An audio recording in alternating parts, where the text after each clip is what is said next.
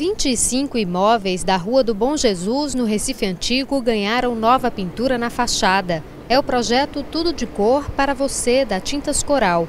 A entrega simbólica foi feita hoje de um trabalho que já dura quatro meses. O prefeito Geraldo Júlio, ao lado do presidente da Coral, ajudou a pintar a fachada de um dos prédios. Ao todo, 58 imóveis no Recife foram presenteados com o colorido. Mais de 6 mil litros de tinta foram usados. Em coletiva de imprensa, o projeto socioambiental foi apresentado. Recife é a 13ª cidade a receber a iniciativa, que também visa a preservação de prédios históricos. Eu sempre falo, se, se Recife fosse uma joia, com certeza a Rua do Bom Jesus seria o seu diamante.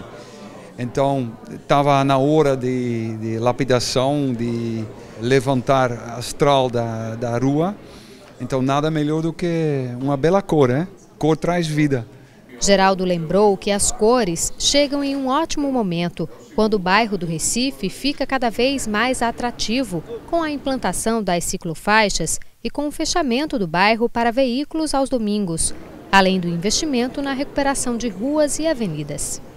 Tem muitas ações acontecendo aqui, o Centro do Artesanato, o Museu Luiz Gonzaga, o Terminal de Passageiros, toda a revitalização da parte da Orla.